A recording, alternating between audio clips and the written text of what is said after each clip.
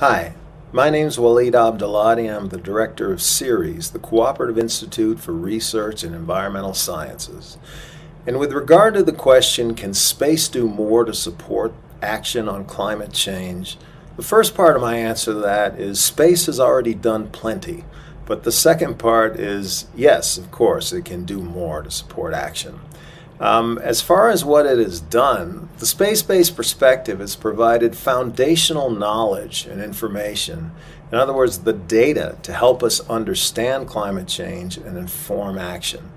And it does this in part by uh, allowing us to access otherwise inaccessible places the Arctic, uh, the middle of the Sahara Desert, the, the Amazon rainforest now, we can go to these places, but to observe large scale behavior really requires satellite observations. Um, the second is the space based perspective allows us to see the world in ways our eyes can't by using the full part of the electromagnetic spectrum, ultraviolet, microwave radiation, thermal infrared, in addition to visible. We're able to quote unquote see things that our eyes otherwise couldn't. Um, and the third is perspective, you know, the large scale perspective of global processes in the Earth system and the interactions among the elements of the Earth system. So, what have space based observations told us with regard to climate change that have helped us understand the situation? Um, well, I'm just going to give you a few examples that illustrate the points I made before about how we observe from space and what that enables us to do. The first is the shrinking Arctic sea ice cover. We're, we're all aware that over the last several decades, Arctic sea ice has been shrinking substantially. We know this because of satellite observations. If we physically went a few hundred miles above the Earth and looked down at the Arctic, we wouldn't see the sea ice. The clouds would be in the way. But because we measure it with microwave wave or at microwave wavelengths, the microwaves penetrate the clouds and we're able to see the ice below and its behavior. And so we can see in the late 70s, compared to just last year, substantial losses of Arctic sea ice cover. Another area that's that's close to home for me is wildfires. Um, again, the satellite observations allow us to see fires on a continental scale, their number, their duration, their intensity, and subsequently the fire damage that's done, uh, the spatial extent of these fires. Looking from space helps us get a sense of of the behavior of these fires and their evolution with time, both evolution within a fire incident, but evolution from year to year as to how much these are growing, how more widespread they're becoming. Another area, um, from a, a global perspective standpoint, is sea level rise. Uh, using satellites, we've measured sea level rise. Um, reliably since the early 1990s. And what you see here is the spatial distribution of sea level rise. So we can estimate global rise, but also how it varies from location to location, which is dependent on you know where the energy is being absorbed in the ocean, where the water and ice that are causing the seas to rise, in addition to thermal expansion, are coming in from, and the satellite perspective by orbiting the Earth repeatedly over and over and over for decades um, tells us the regional characteristics, which makes a huge difference in the implications for coastal regions. A, a few inches, um, a difference of a few inches, has tremendous implications for people worldwide. And then this last example is really a great illustration of interaction between components of the Earth system. Uh, this is the carbon dioxide uptake from vegetation. And what you see is CO2, carbon dioxide, overlaid on uh, the annual vegetation patterns. And you can see as spring arrives in the northern hemisphere, we can watch the CO2 uptake by the vegetation in the northern hemisphere. And as fall comes, we watch the increase in CO2 as there is less vegetation to, to take up that carbon dioxide.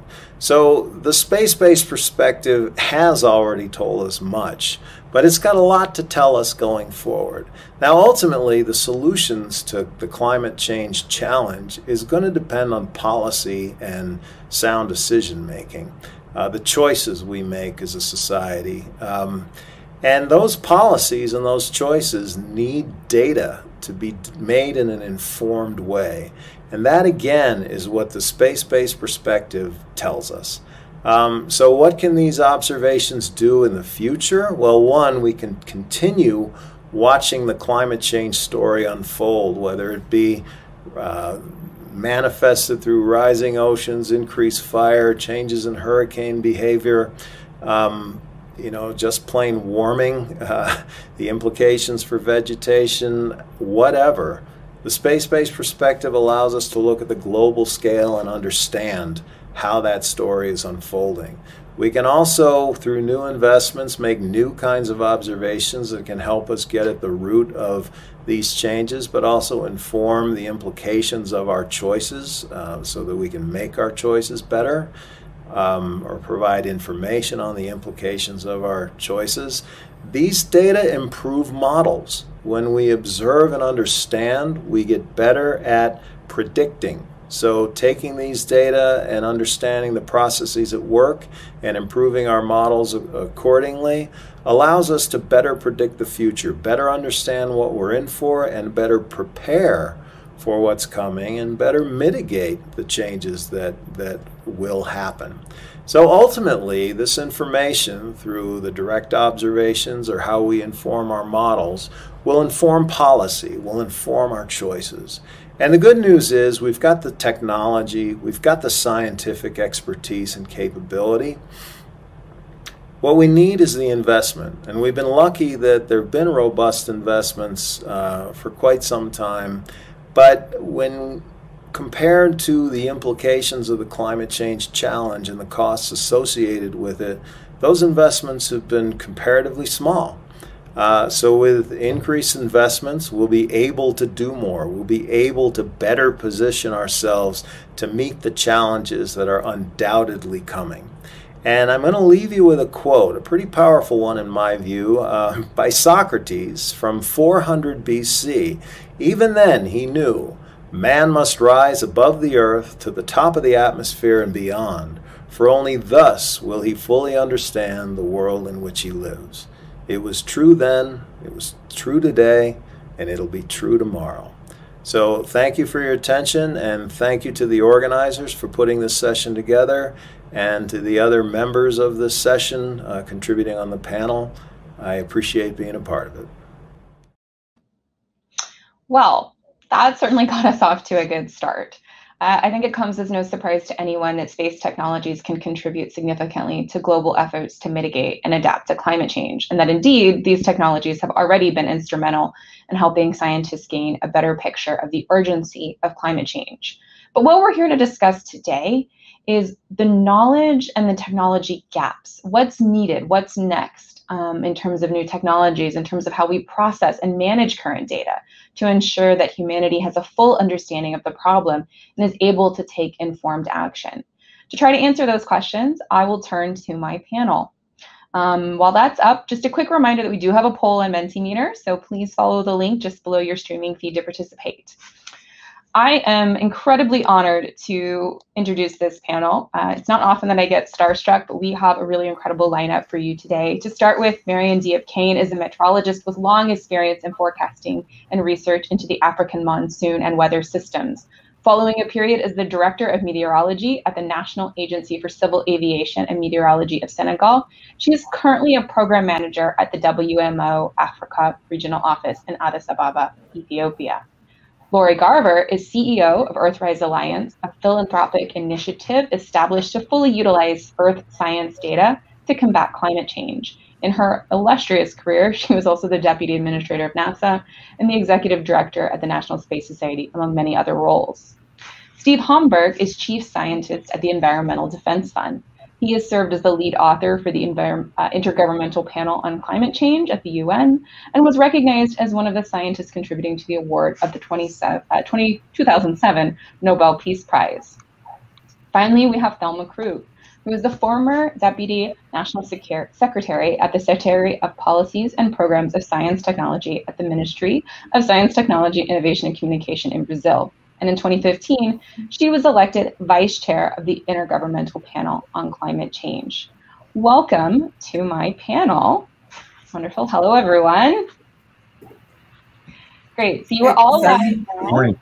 Morning. So you're all live now. I'm actually going to start with Ms. Krug. Um, the IPCC is currently undertaking the sixth assessment report on science related to climate change. I'd like you to start by telling us what role does Earth observation play in this process? And in your opinion, what has changed since the last assessment report? Okay, thank you very much, Krystal. And before I start, let me also congratulate the winners of the contest. We really need all uh, stimulating young people, you know, to get interest in the subject. Uh, also, thanks for the opportunity to be here. And I think that uh, uh Willie has really set up the scene uh, for this discussion here.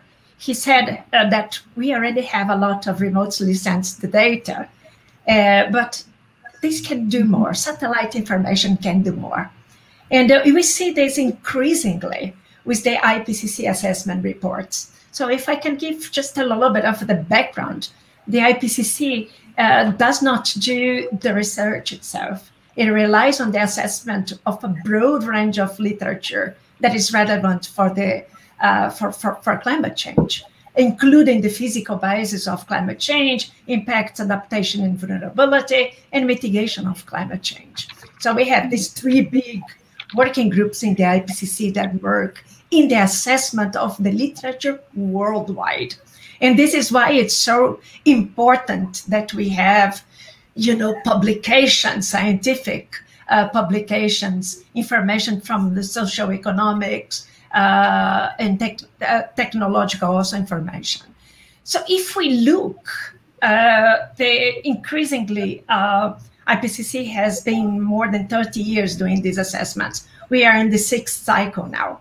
So if we go back and see how it improves and how much it relies on remotely sensed data, not only to improve the model capacity to project future climate change, but also on many of the relevant uh, points that uh, Willie has put forward.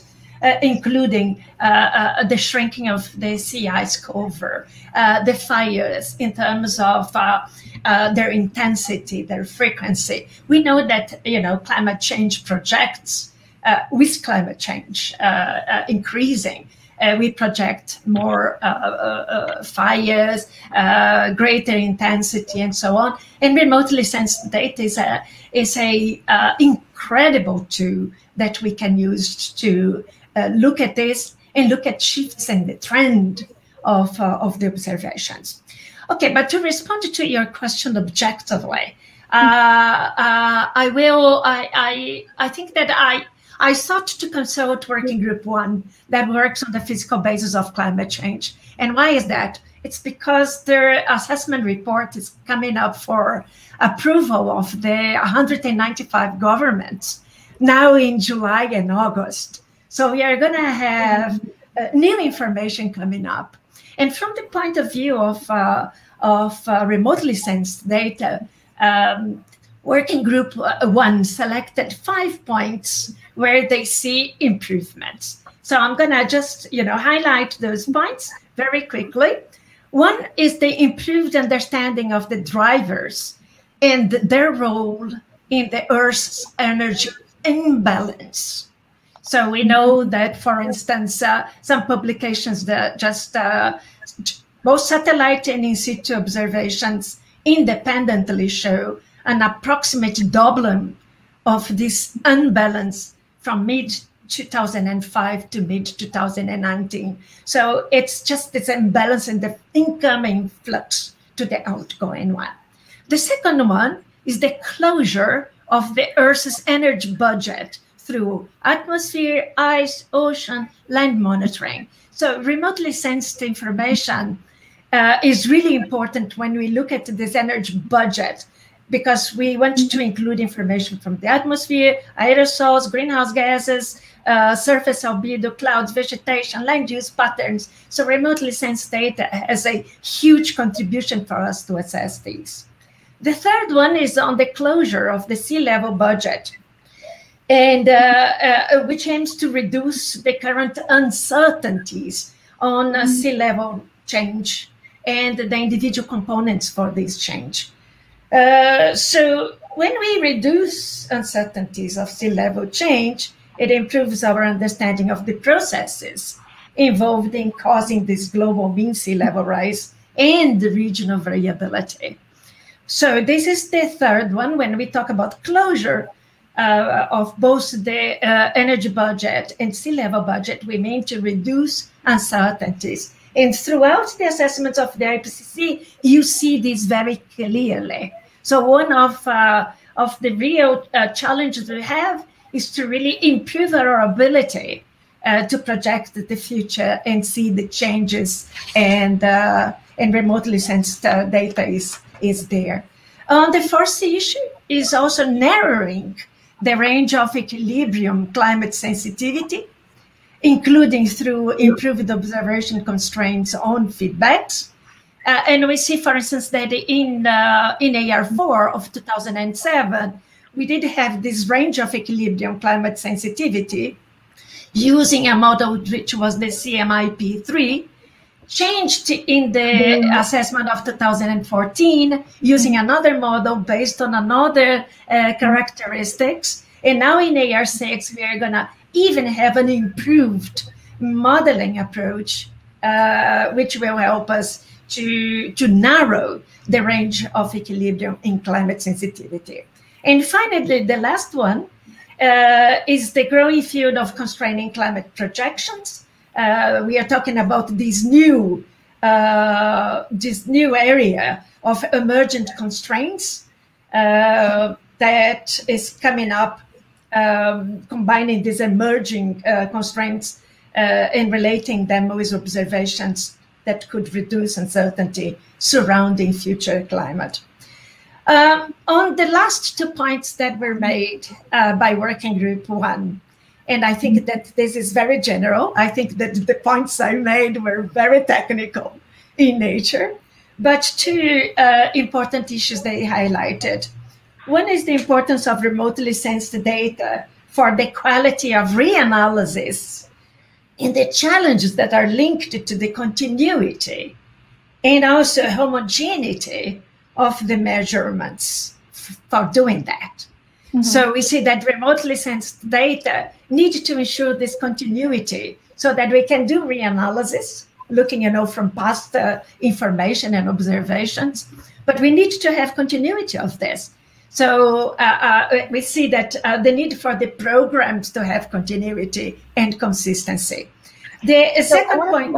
So um, I want to come back to that point. So I yes. think what we'll do, I'm going to go to the next question, but I'd like to come back to this idea of the continuity yeah. of data because I think that's really going to be key for our audience to understand that challenge. Okay, that's perfect. First, right. it, it, just a, a small point, Krystal, and it's also the regional information.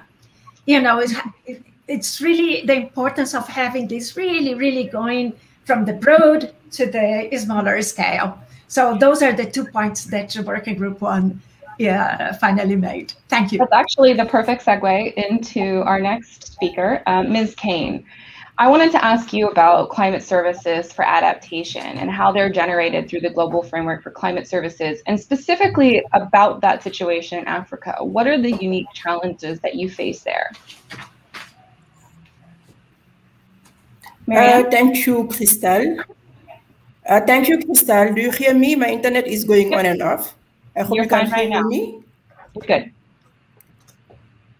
Okay, well, it's a pleasure to be part of this uh, Climate change is definitely inevitable. We are already in it with climate variability and increase of extreme events, both in frequency and intensity. All parties are working to keep to the Paris Agreement and keep the temperature change down to 1.5 degrees Celsius increase. Meanwhile, we need to adapt and move to climate resilient, climate smart activities to get the best out of it and minimize impact on societies and economies. The climate services can help, surely. They're essential tools for adaptation to climate change. And many reports, as you may know, have shown that uh, invest, investing in climate services uh, has many benefits. Uh, it's been rated to one out of four. So climate services are really essential for climate adaptation. So following the third World Climate Conference, the GFCS was established with a three-tier organization at global level, regional, and national level. And climate services are realized through a value chain from operational hydrometeorological systems, including observation networks, data and databases, climate monitoring and forecasting products, and provision and delivery of services, and all through partnership, research, and innovation and development, as well as user interface platform. WMO, Global Producing Centers, will feed information into the regional climate centers, which in turn process regional products to be used and adapted by national meteorological and hydrological services to meet their users' needs.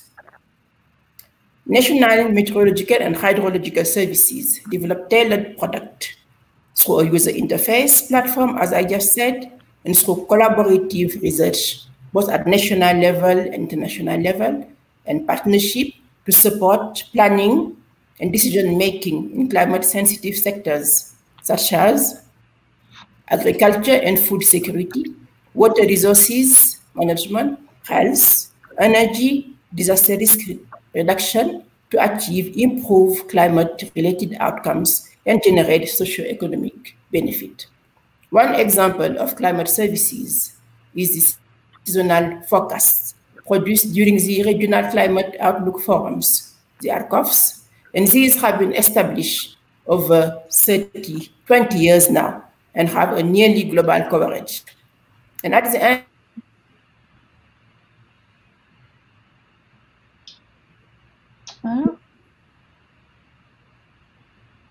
organize their National Climate Outlook Forum, where they define, refine the forecast at national level and update it throughout the rainy season.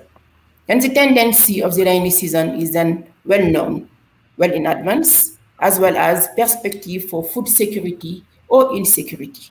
And this is very important for Africa, which is highly dependent.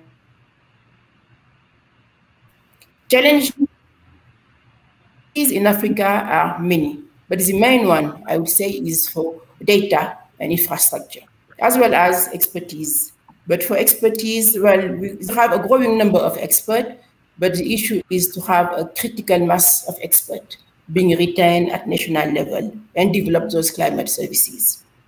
For the data and infrastructure, we've been having a steady decrease of the observation data. And this is not with significant, significant I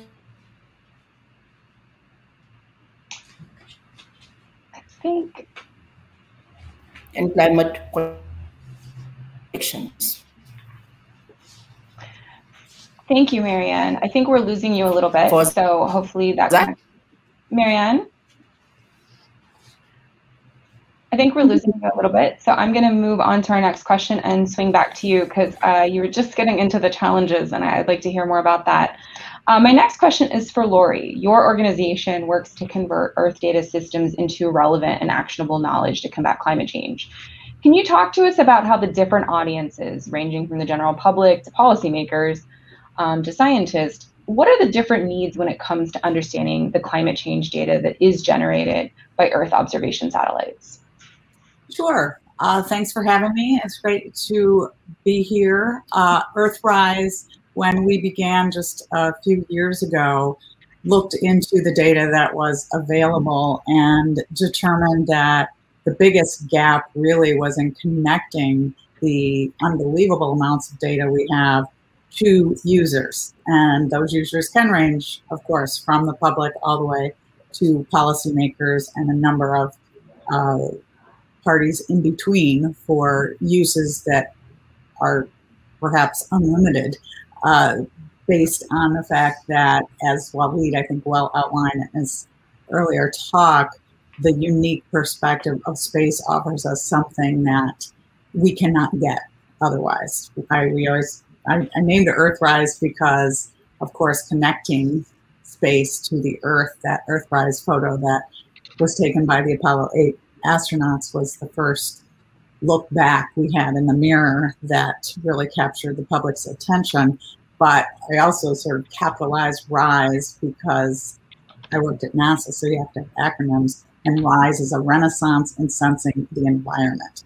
We have not only the new developments in sensor technologies and satellites, lower costs of launches and satellites, and all the new ways we have of storing and accessing data and modeling techniques. So we have had, I, I fully agree with this morning's premise, um, so much value to the climate change discussion we wouldn't even know about without our uh, satellite constellations. But it's time for us to really figure out how to best utilize that data between resilience, uh, things we can do to mitigate, and things that we can do to adapt. So for the public, uh, we at Earthrise primarily work through journalists to tell stories. You know, no matter no matter what, it's a local story, and the public around the planet needs to see and can see now from space what is changing in their own backyard. And I think Earthrise making that connection by seeding stories around the world to journalists who can then utilize the data within um, what is happening in their neck of the woods. So we utilize all the free government satellite data, but also have agreements with the private sector providers like Maxar and Planet and Airbus.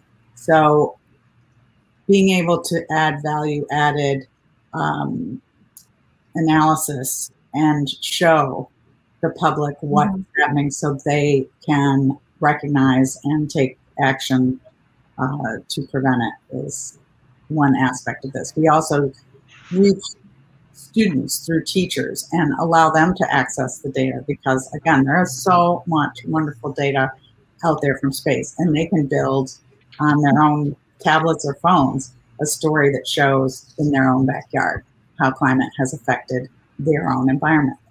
Um, ultimately leading to policymakers, I think the major issue for policymakers is having people beyond sort of the agencies that create the data, like like NASA, really recognize how they can utilize it and to be able to share that information. If we are to do what I think most people agree uh, would be necessary to really address climate change, we have to be able to measure it more precisely, emissions in particular.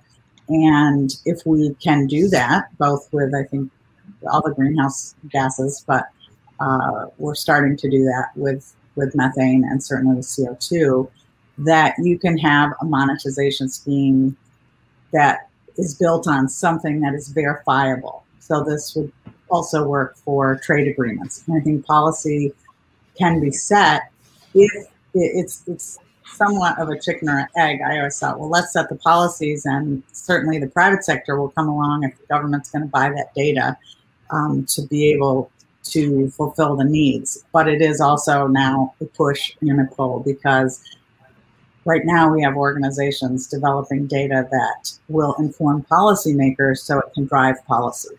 Uh, so the technology is an, just an amazing um, renaissance where we are able to utilize more of the data, but we don't utilize it in a way that, as I think every single speaker has said already, is um, as meaningful as it can be. So if you are looking to, as an insurance uh, company, you probably have found a way to get that information. You know, if you're if there's a way to make money more and more people will do that. But in a policy sense, we really, um, I think, can do a better job, and at least uh, this administration is working to do that. I will note that we often one of the gaps I think in the policy world is we NASA, for instance, think well we measure the um, climate, but we're not the ones who set policy to do anything about it. And then, you know, NOAA is an operational agency and they are there to convey what's happening more on the operational side. And the hole in this, the gap, is who is going to analyze that data in order to influence policy. And I would go back to uh, the 80s where we had the determination by not just NASA but other agencies of the ozone hole. But NASA scientists did help contribute to the ultimate recognition and solution. So recognizing that CFCs were contributing to the deterioration of the ozone hole led to them being banned through policy. And that's the feedback loop that we are trying to incentivize by people um, seeing that this data isn't just for science. There, there should be things that connect that data to actions that make a meaningful change. And that's what we're all about. Yeah, absolutely. I mean, Lori, you hit on two points. One, you gave me a great lead in to, uh, to Steve, uh, just an organization that is actually seeking to do exactly what you're saying, which is address a very specific need within the community. But before I turn to him, I, I absolutely agree with you that, that I think sometimes we make the mistake when you're a geek and when you're a scientist you know, build it and they will come. We're excited about the data. It shows us so much. And there's an absolute truth in that. But you really hit on the point that it's about building a chain of information. And it, it builds on what Mariane was saying about that turning this into climate services, turning this into the ability to make decisions, and then motivating people to do so. Because I think, as we all unfortunately know, just because we know something doesn't mean something happens next. Um, and so having the data is incredibly important, but then building out um, information and attitudes and services and, and, and, interpretation, all of those things matter just as much. I, I think that was really um, a great overview. Steve, I'd like to turn to you next. Uh, you are engaged in some exciting new work uh, by a non-governmental and non-commercial organization. Essentially, as I understand it, custom designing a satellite to provide much needed climate data. In fact, uh, just recently, Governor Newsom of California uh, set of another related project that these homegrown satellites are a game changer. So I'd like for you to tell us um, about how that came to be and especially what other possibilities you see in the future in this particular area. Thanks so much, Krystal, and uh, thanks for the great talks. And it's great to be here with these uh, distinguished colleagues. Um, so I think um, Lori set it up wonderfully. Um, I describe it as we're trying to build the data to action pipeline. So what we need to do is not only have that intact pipe, but also fill it with high quality data. So MethaneSat is a satellite uh, being built by MethaneSat LLC, which is a wholly owned subsidiary of the Environmental Defense Fund, a nonprofit. And what we're trying to do is to produce high quality, actionable data and fill the gaps that Lori described so that we can actually provide free of charge across the globe, uh, highly resolved, spatially resolved, and fully quantified methane emissions data from the oil and gas industry, as well as hopefully agriculture, which we're still working on. The satellite will launch in 2022, late 2022. And it really, I think, is a game changer in really trying to think through, in a way, the reverse order. While um, Thelma talked about critically important scientists as on, on as a scientist who's worked on climate change for many decades on the ground, and Mariane talked about adaptation, another essential piece. Um, and Lori talked about how to build the civil society action. What we, what we need, though, is increasing quantities of actionable data, and we have to start with what data do we need and then work backwards to what technology will be required. And that's exactly what we did in the MethaneSat case. We didn't start with the technology, we started with what data is missing. And we started by using on the ground data collected intensively in the United States to say, what do we need to understand in order to map and quantify methane emissions from oil and gas industry? And why, why look at oil and gas? Because it represents a significant source of methane, and most people don't even under, recognize that methane accounts for a quarter, more than a quarter, of the warming we're experiencing today.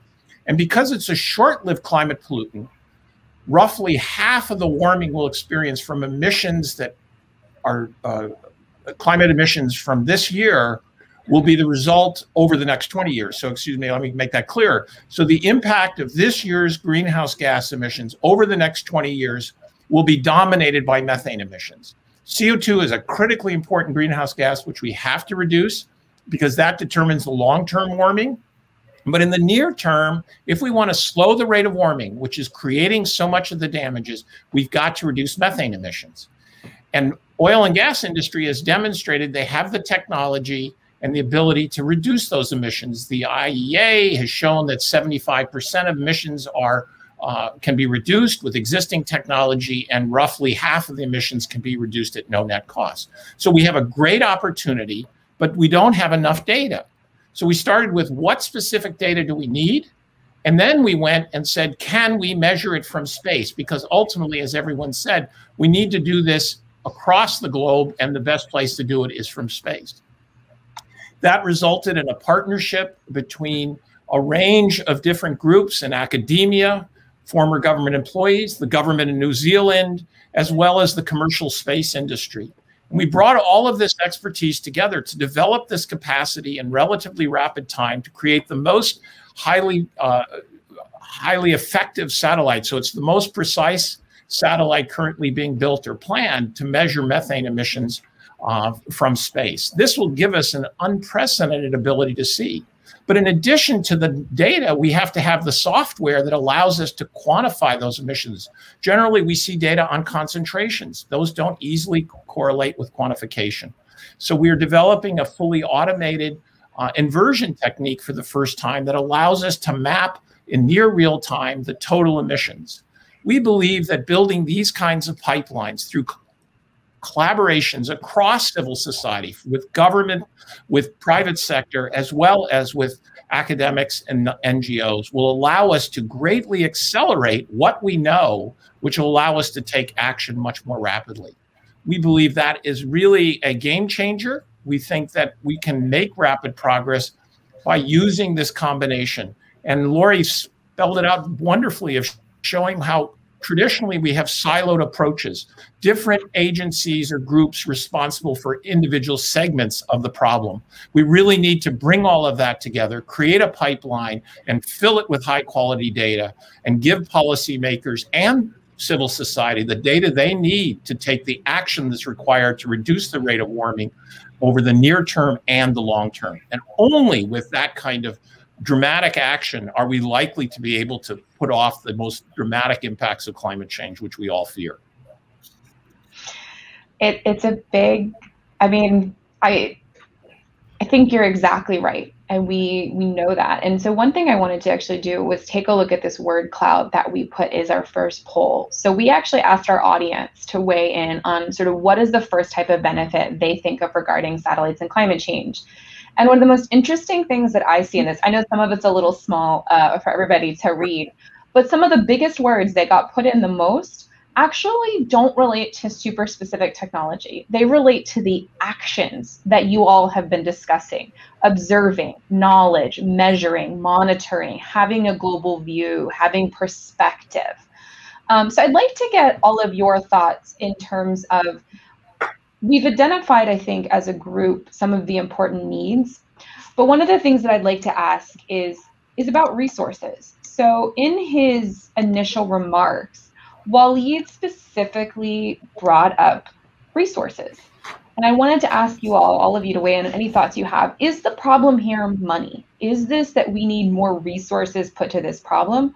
Or do you think that it's a lot more complex than that? So maybe, Lori, I'll start with you, and then anyone else who's interested can chime in. But I'd like your thoughts on, you know, do we have enough resources to enact what you all are just describing? Yeah, uh, it's a great question, and resources can mean a lot of things. And I would never say we don't need more resources. uh, I believe we could effectively double NASA's budget and utilize it very well. But it's an and not a just do that. That wouldn't solve much, honestly. It is, you know, as as we are discussing, as Steve just said as well, a combination of users in the government and the private sector, nonprofits, as well as global organizations. So as as we're here, I'd love to hear from the IPCC. What do they really need? We have models, we have um, gaps because of data. We have gaps because people don't know about utilization. We have gaps that are stovepipes um, along pretty much every point.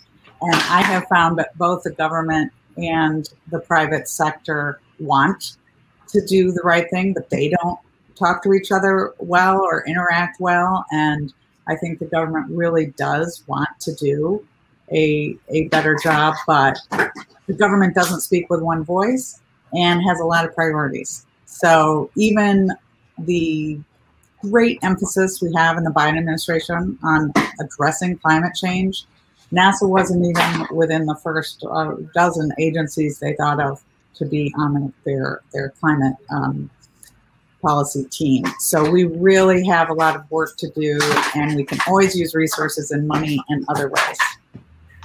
Thank you. Um, I'll just kick it over to, to Thelma, and, and Lori has a great point, and then we'll go to Steve and Mariane. But, you know, what's your perspective on this at the IPCC, Thelma? Yeah, obviously, I think I mentioned briefly uh, in my intervention that at every assessment that comes every six years, uh, so it's voluntary work of thousands of, I would say hundreds of, uh, of authors coming from all over the world. Uh, and obviously, as I said, uh, uh, assessing models and using these models to improve or to reduce the uncertainty. So this is the real benefit that we have from one assessment to the other. It's not that we go wrong in one assessment. We can do better in the next because you are improving the accuracy of your, your models. You are inputting more data into the models to make them uh, every time more, more reliable. Uh, so uh, I think that from the uh, point of view of the, the IPCC, obviously we rely a lot on the modeling community, and the modeling community relies on better and better data. So I see that, you know, when we talk about the issue of the resources, obviously, as Lori has said, resources is always an issue, right? And but this is why we see a lot of partnerships. Also, I think, uh, Lori, if you allow me, uh, I, I, there, you know, I have been in the remote sensing uh, space agency for a long time and now retired. But uh, at the beginning, 1982, the data was paid, There uh, Landsat data, not so many data available. Uh, and now through time, you see more and more data becoming available for people to use. And why do we say the importance of that is really so that everyone is equitable everyone could have a chance of getting the data, extracting information from that data to, as many have said, to inform policymakers for action. I don't know of uh, a better example uh, than the monitoring of the Brazilian Amazonia for the deforestation.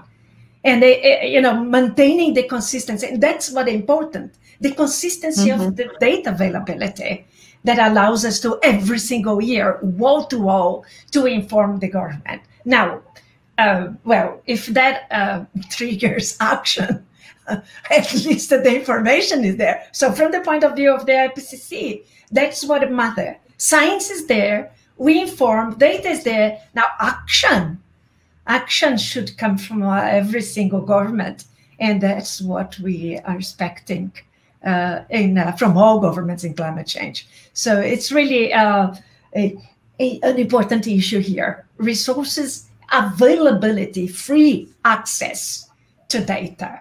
And uh, it's not only me saying that, a lot of communities saying the importance of free, accessible data to extract information to inform policymakers. Then it's up to them how to manage that. I can't hear you.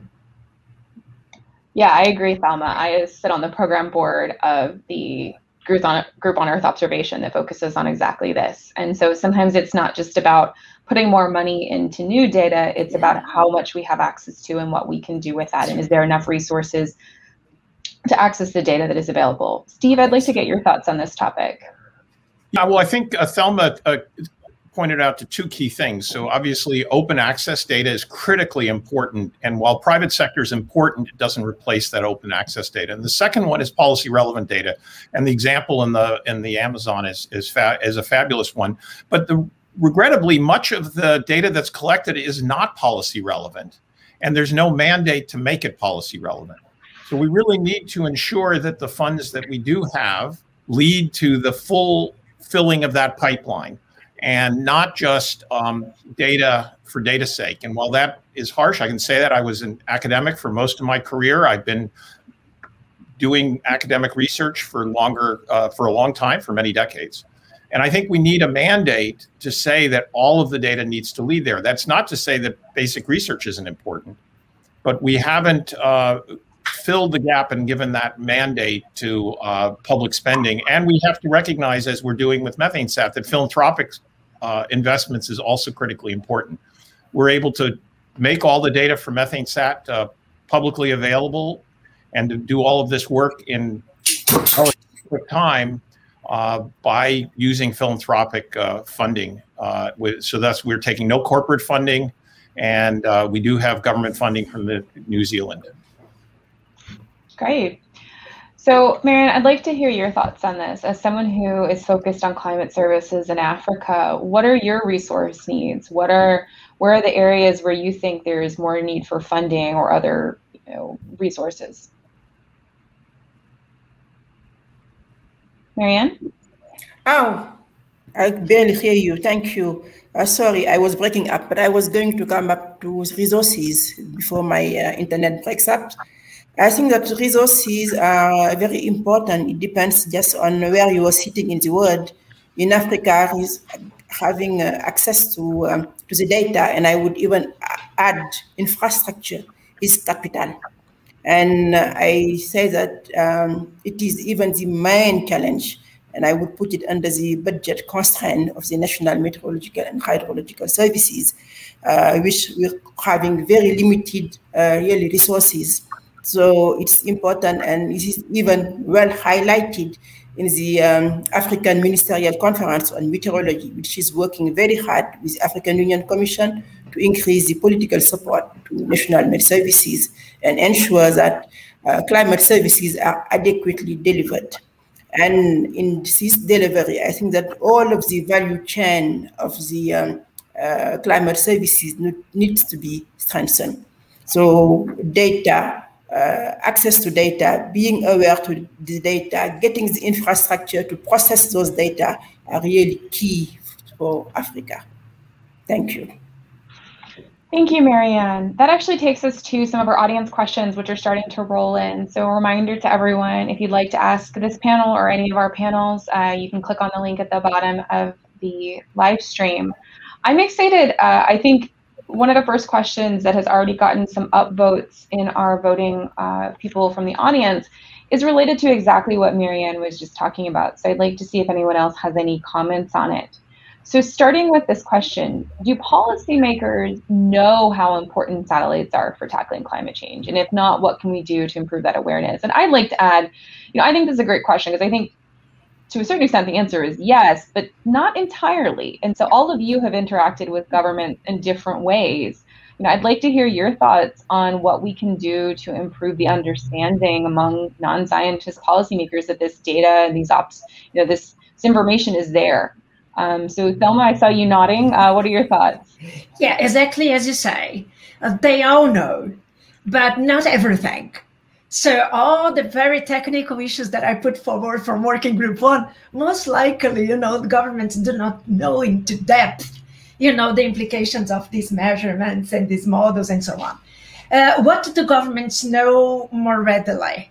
They, when they, they, they more readily know about land use change. So that's my assessment because of inventories, because of submissions to the UNFCCC, like, you know, forest changes, like degradation, deforestation, uh, so so uh, so they are more interested or know more about the importance of remote sensing to assess these changes in land use and the implications of that. So I would say that that is the number one for governments. I would say, and then you know others will build up their knowledge uh, depending on how is their surrounding in terms of uh, technical people uh, making them knowledgeable of the increases in CO2, in CH4, as Steve has said. I don't think that many governments know about the CH4, Steve. Uh, uh, you know, although we do have satellites already that measure that. But I think that one of the implications, and just uh, Krystal, just uh, to finalize is really, you know, uh, remotely sensed data cannot separate the implications from anthropogenic, uh, uh, anthropogenic actions in natural variability. So many governments put that, you know, in front, saying, well, maybe this is not really, you know, because of anthropogenic uh, actions or measures, but they come from natural variability. That, for instance, is the case for fires. Uh, and uh, just to give one example. So let me uh, jump in because yes, uh, Thelma, uh, I think is right. Though I, am going to suggest that in fact, what we need to do is ask the policymakers what data they need to create effective policy, and then make sure we have it. Because in most cases, we do not have the data that. That's why I call it policy relevant data. Not at all, some, and where I would maybe disagree a little with Thelma, is that I think uh, we do have the capacity for many types of sources of greenhouse gases to separate anthropogenic from human caused, uh, uh, from natural uh, emissions. Now, there are some tough places, absolutely, mm-hmm. where they're mingled, makes it very hard. Um, but we can do a lot better than we have by building instruments to provide the data needed by the policymakers with a deliberate mind to that and not the science. And as a scientist, I did most of my career thinking about what do I need for mm-hmm. science? Very important. We need to turn that around. What do we need to help humanity address the problems and build the tools to give that data in addition? We have done a terrible job, I would argue, at that. And I think that what we can do, certainly what we found in methane, is the tools were out there and were not being deployed. And we needed to start the, again, we need to run the from the pipeline the opposite way. What do we need for policymakers? Then back up to the data and the technology. And I think what we'll do is we'll see a rapid acceleration in the usefulness, the recognition of the power of remote sensing uh, in just a few years. We have all the tools. We just need to put them together and create a new generation of satellites that are much more policy relevant. Yeah, I think that's a great point. And it, it's impossible to separate out scientists doing things for science and then the incredible need that we have as a society right now. And it, it's always going to be both, that this is one area where changing our frame, or at least adding that frame of trying to think of it from the other direction, is really key, uh, particularly when it comes to making useful data. Lori, did you want to chime in on this one? Only to emphasize the point. I could not agree more. And you know, NASA has science and applications, but the applications part's oh really tiny and really not starting with the end state user in mind. Well, the end state user is and has been that researcher to uh, what Steve used to be, and we need to transition to um, policymakers outside of just the you know domain of uh, studying Earth as a system and in addition to doing that, be able to identify users so we can develop to their needs. It's not something NASA likes to do. I guess I would ask Steve if this, even for me, 10 years ago, I was frustrated at NASA's insistence on sticking with the exact decadal plan for Earth sciences, and it would take 30 years to fly it all out with these big missions that were not based on any of the applications that were current. And in talking to Berrien Moore, who at the time had led the Earth Science Decadal Report, and now Waleed followed with the next decadal report, they both acknowledged that things in earth sciences change faster mm-hmm. so that the investments probably can't be decided that that far in advance. Those work for astronomy, for instance. Um, Steve, do you think that is a is something we could do differently? A- absolutely. and again, it's an and, right? So I am not in any way pushing back against science. I, I, that would be against my my whole training and background None most of, of my career. right. But but we need to exactly be nimble. And that's where I, I have to credit the folks that we brought in from commercial space. They knew how to be nimble in a way but that wasn't sufficient. We also needed the best leading academics, which we brought in. We have two great institutions in Harvard and the Smithsonian Astrophysical Observatory as key partners. It was bringing all of that together. Historically, we've not brought all those sectors together. The policymakers.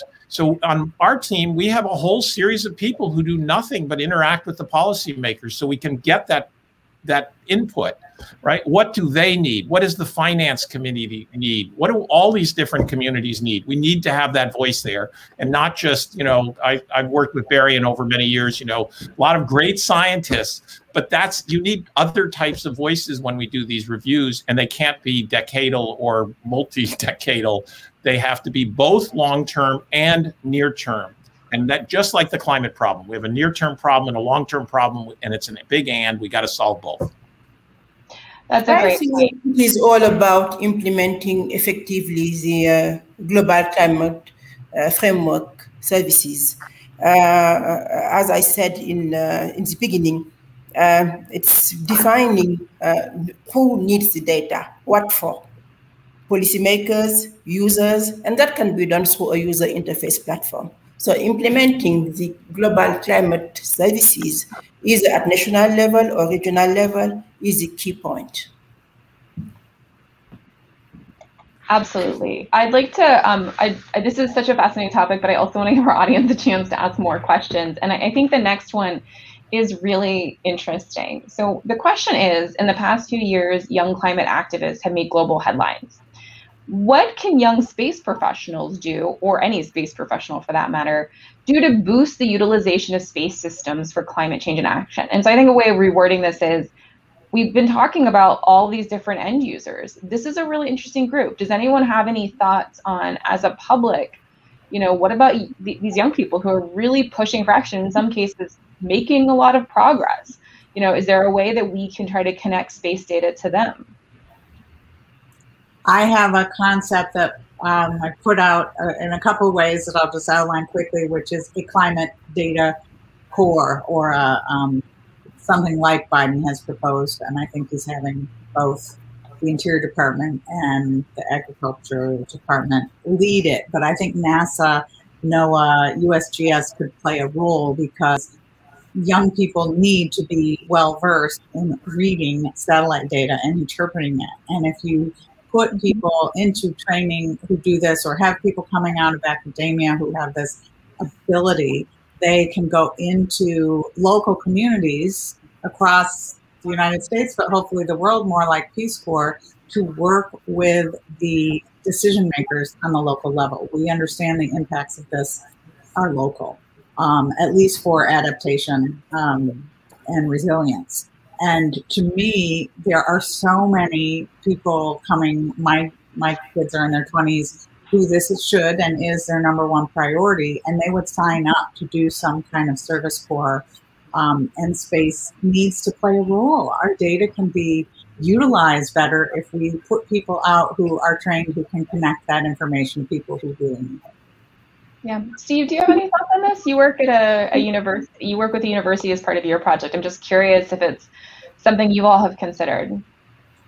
Yeah, so certainly we try and, and there is a, a lot of uh, younger folk part of our project uh, through universities.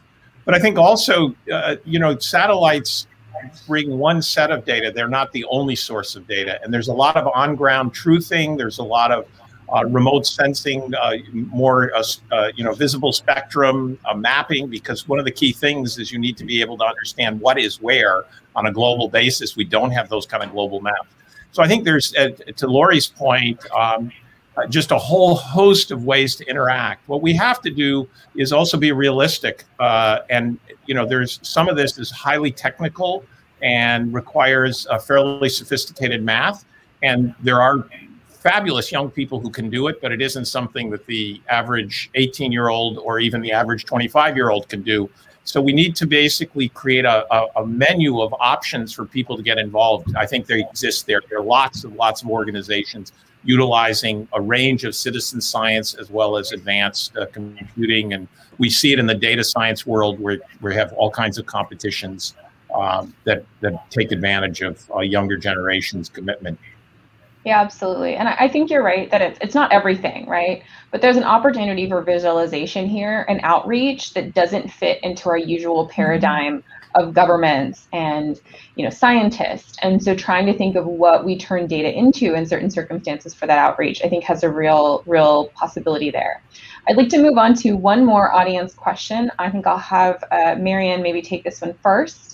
Um, so we've talked a lot about satellite data here, uh, but that's not the only data source. So this person was asking, is there a need for the space community to develop more interactions with other sources of climate data? So Thelma or Mariane, I'd love to hear from you on this one. Uh, sure. I think that we need to mix up these uh, long series of satellite data with in situ data and any other data that can allow the computation of climate records to study climate change.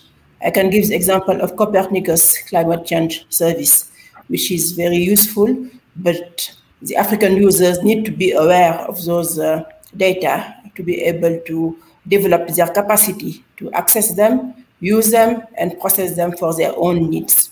Uh, EUMETSAT, I think, have been organizing lots of series of webinars but there are other satellite providers whose data can be of interest. And uh, uh, the African community need to be aware of that. So we need to really do uh, some awareness campaign so that those youngsters and other users have access to them. And what is very good and very promising is that um, many satellite operators are working together. So the coordination group of the meteorological satellite, CGMS, and the Committee of Earth Observation Satellite, CEOS, working group on climate monitoring to produce uh, good climate data records without gaps. So I'm very excited about the new generation of satellites that are coming, as they will offer tremendous atmospheric and atmospheric composition data, as well as surface, ocean data with a much better spatial and temporal resolution. And I think that this will, in the long run, offer better climate data records with a much higher resolution that will enable better knowledge of local climate change and local adaptation. Thank you. Thelma, what do you think about how the space community interacts with other data sources? Well, uh, it's essential. I would say that, uh, you know, uh, uh if you take, for instance, remotely sensed data uh, to, uh, as an example, to assess land use change, right? And then you would need some data, in-field, ground data, to validate your satellite data. That's essential. depending on the classifier that you're going to use to extract the information, it has to be trained to do that. And training means that you would input data that you have collected elsewhere. So uh, field data is essential here. Uh, core data. So we are talking about a whole set of other uh, data sets that really feed into the system.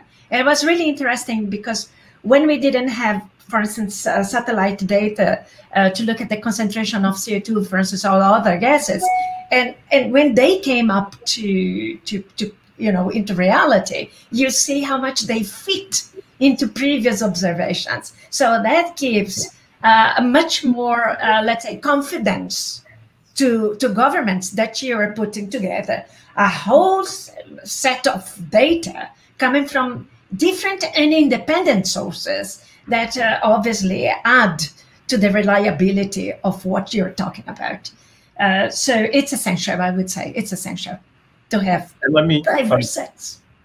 Yeah, I just want to emphasize that. I mean, I think there's some wonderful programs like IGUS at WMO. So I'll plug Mariane's wonderful institution, uh, as well as now at UNEP, starting the International Methane Emissions Observatory, which is trying to link all these data, bring them together in a way that allows us to create, because they give you very different perspectives. Totally agree with Thelma. It's absolutely critical for validation.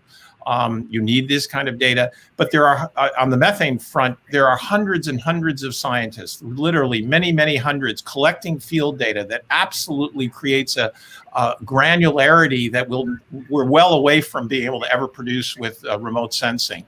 And so they're complementary they also provide uh, the capacity building around the globe as, as these mm-hmm. studies occur in, in a diversity of nations where you have good science, but maybe hadn't worked on it. And it's really that combination that gives us the confidence against uh, Thelma's point. And there are institutions that are working across these different scales, and we need to support those. Absolutely. So I'll be honest, I could continue this conversation forever. We have more great questions um, coming in from the audience, uh, but we have to end on time. So I want to close with one opportunity for sort of one final comment here and, and maybe kind of give 30 second to minute answers to just say, you know, this isn't a new problem. I mean, I, I'm, I'm really excited about everything we've talked about. I, I think the opportunities are amazing but you know there's also concern that we're not taking action fast enough and that you know as we talked about with young people they're very concerned for a very good reason. Uh, you know we have the focus on the you know the UN sustainable uh, sustainable development goals and whether we're going to to reach those in this area and so I'd like to close with just an opportunity for you to say, you know, 30 seconds of what do you think the most important form of action that we could take in this area in, say, the next 10 years are? If you could sort of tell governments or academia or the commercial industry one thing that you think that they should do, you know, what would that be? Um, Steve, I might start with you because I, I, I, suspect I might know the answer, but I'm curious what you have to say, and then we'll just go around uh, the panel. Yeah, so, well, as I mentioned, we need to reduce methane emissions dramatically. It can slow the rate of warming uh, uh, incredibly uh, quickly, uh, which will reduce damages. But and, and related to that is, I think we need, as the satellite community needs to think about, as I said before, what data does the policy community need? And we have to ask them. And then we have to go out and produce them in the next few years so that a decade from now, we have a, a picture of what's happening that we've never had before and uh, I think that's a game changer.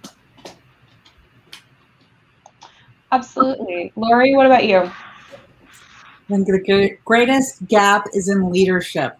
To me, it does take people around the world in senior positions who show real leadership and stand up to and recognize what we now know is happening, how we can get even more of that information, and make decisions that um, will be impactful from that data. In the US, I, I believe that NASA could take a much larger role. I think NASA was formed to address what the US at the time envisioned as a global crisis, and they stepped up to it and they could do more now. But there needs to be greater coordination in the US government for managing the data as part of the greater issue. Great, thank you. Thelma, what about you? If you if you were okay. for a day, um, what would you tell everyone to do? I'm gonna uh, I'm gonna do bullet wise.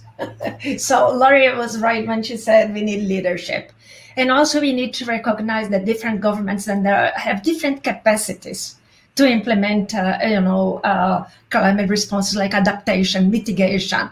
So uh, a bullet point is leadership, as Lori has said, we need international cooperation.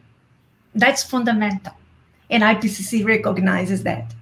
We need partnerships in terms of research, in terms of uh, technology transfer, capacity building.